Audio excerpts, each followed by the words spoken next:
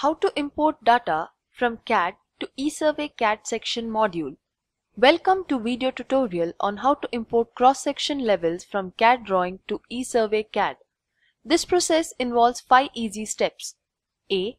Mark chainages along the alignment. B. Create offset lines and move entities to specific layers. C. Interpolate the values. D. Export values from CAD drawing. E. Import values in eSurvey CADD. A. Mark chainages along the alignment. MCH. In road, railway and canal projects, cross sections are created at fixed distances, say 30 meters, and the area computation is done in these cross sections and then the volume is computed depending on the area. Normally, survey is also done at those fixed distances only. However, it is not possible to exactly survey on the points at those distances and their respective offsets. Using eSurvey CADD interpolation module, interpolating the values is easy.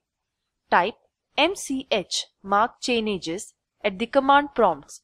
A window will appear expecting inputs like prefix, suffix, starting chainage, increment, etc. Please specify cross-section interval in increment and cross-section line length as per the project requirement. Click on OK and then select the alignment. You may note that program will create cross-section lines that is chainages along the alignment. Depending on the input values, label indicating the cross-section value is also marked. B. Create offset lines and move entities to specific layers.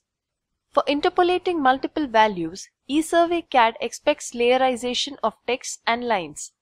All the cross-section lines need to be in CS layer. Central line, that is alignment line, needs to be in LS layer. You can offset the center line on either side depending on offsets at which you want to interpolate the values. In this example, you can note that the center line is offset at distances 2, 4, 7 and 10 on either side. These offset lines have to be present in offset layer. Elevation text representing the surface should be in ELEV layer. Once the text and lines are in LS, ELEV, offset and ELEV layer, you are ready to interpolate values in bulk. C. Interpolate the values. Interpolation along the alignment can be done with ITI or IDI command. To interpolate the values with ITI command, elevation needs to be in ELEV layer and eSurvey CADD will interpolate the values at all the intersections of the cross-section line with an offset and longitudinal section layer.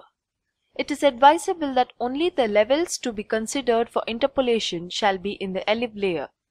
In case of IDI command, longitudinal section and offset lines need to be 3D lines and IDI command will interpolate at the intersection points of all the longitudinal section and offset lines. You may note that all the interpolated values will get created in a layer named layer 1.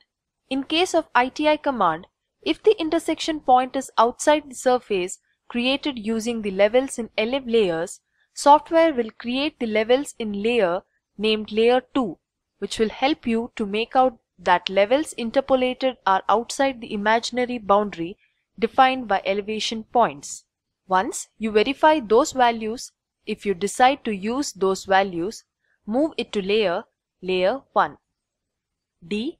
Export values from CAD drawing. Interpolated values need to be exported to eSurvey CADD using CSA command. When you give CSA command, CAD will ask you a factor called box width. Specify 0.5 and select the cross-section lines for which you want to export the values. If you want to export all the data, type all at the command prompt. CSA command will scan the drawing and export the interpolated values to a temporary location. E. Import values in eSurvey CADD. Data exported from CAD will be in temporary location.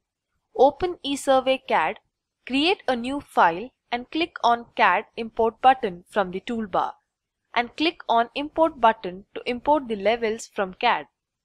You may note that all the cross-section levels are imported from CAD and respective cross-sections are being displayed in eSurvey CADD.